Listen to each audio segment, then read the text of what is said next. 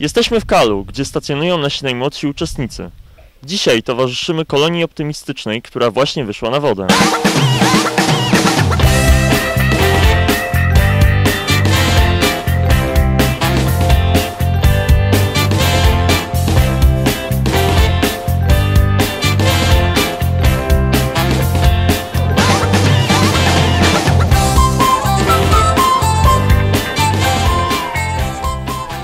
Optymist to najmniejszy jacht żaglowy, z obsługą którego można poradzić sobie mając zaledwie kilka lat.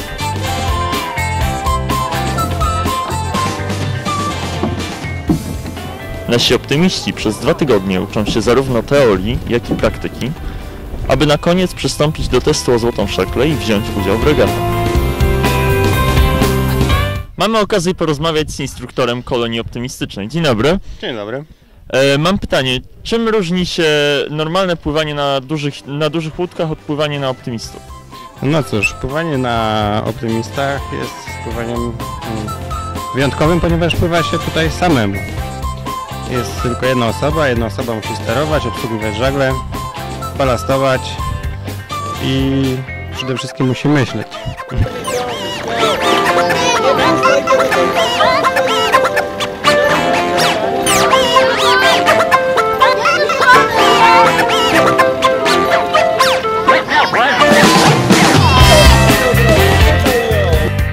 Od ilu lat można zacząć pływać na optymistach?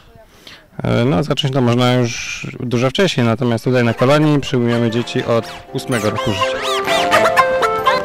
I jak sobie radzi ta kolonia? Ta kolonia radzi sobie bardzo fajnie, naprawdę fajnie pływają, słuchają się nas, co im mówimy i powoli, powoli, ale uczą się. Uczą się samodzielnego żeglowania. Dobra, wracając do tej głównej naszej trasy dzisiaj. Czerwona bojka, bojka żółta dolna. Czerwone jeszcze. Czerwona to na górze była właśnie. i czerwone. No ta czerwona to tu się gada.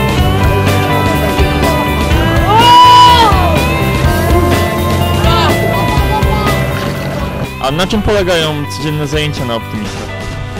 E, codzienne zajęcia na optymistach polegają na tym, aby mm, przygotować sobie sprzęt do pływania, oczywiście samodzielnie albo z pomocą swoich kolegów, koleżanek.